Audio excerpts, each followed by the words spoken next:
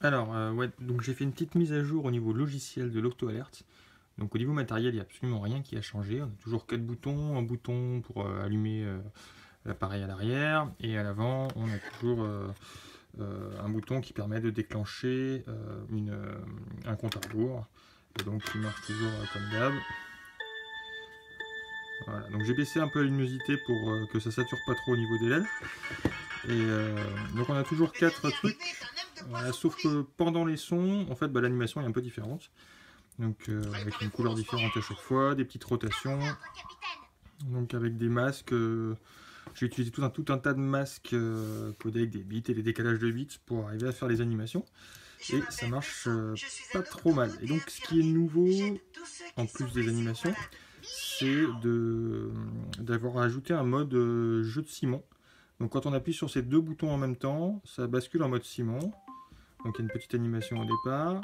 Et ensuite, euh, il y a donc euh, une note qui se joue dans un coin avec une couleur, donc il faut la rejouer.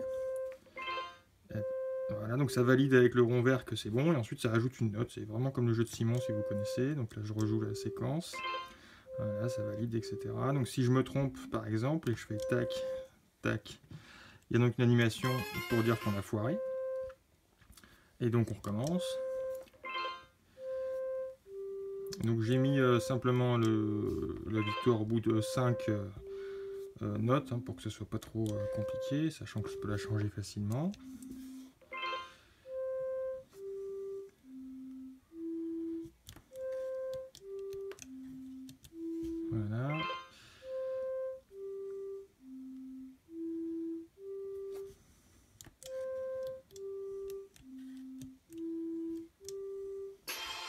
Du coup, il y a une animation, de victoire.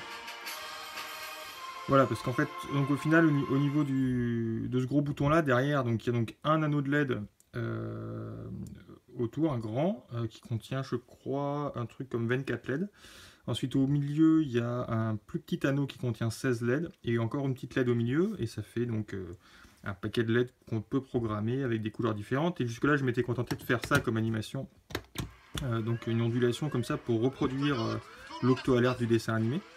Euh, et simplement, bah, là maintenant j'ai rajouté des animations un peu plus complexes, et donc c'est juste une mise à jour logicielle.